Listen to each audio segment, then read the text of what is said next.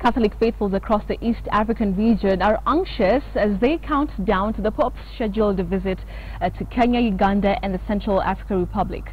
At the University of Nairobi in Kenya, construction workers are now putting the final touches on the altar where the Pope is expected to lead over a million Catholic faithful for a holy mass. Murimi Mwangi with the details. The rush against time in preparation to unpack the basket of goodies from the Vatican and the hosts are leaving nothing to chance as the countdown for the arrival of the special visitor from the Vatican draws to just over three weeks now. Expectations and the anxiety to chart a fresh course with their maker seemingly filling Kenyans with even more hope as Pope Francis prepares to jet into the country on the 25th of this month.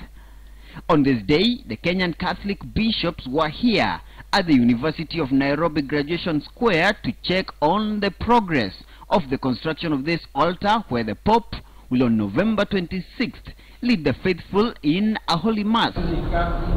And now, the local bishops also have a message for all the local faithful in the run-up to that day. It is indeed a privileged moment as we begin to final, the final countdown to this historical state of apostolic visit.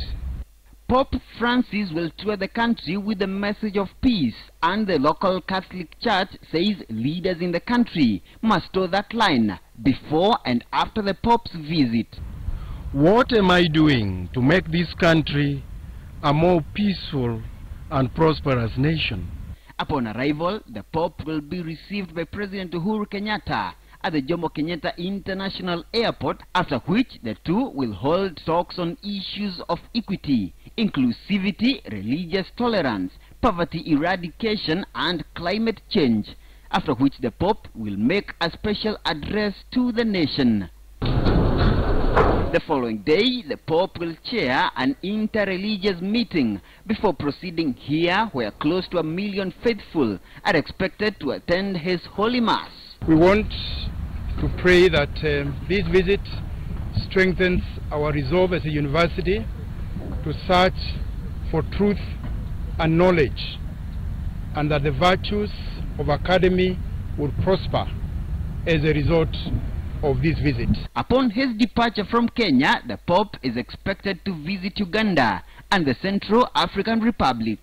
With a message of peace, equity, inclusivity and religious tolerance, the Pope comes into the country at a time when a number of leaders have been accused of engaging in hate speech and of course increased cases of corruption. And on this location where the Pope will be holding that Holy Mass, the message of the Catholic Church is for Kenyans and the leadership to embrace integrity and reconciliation. Murimi Mwangi, KTN News, Nairobi.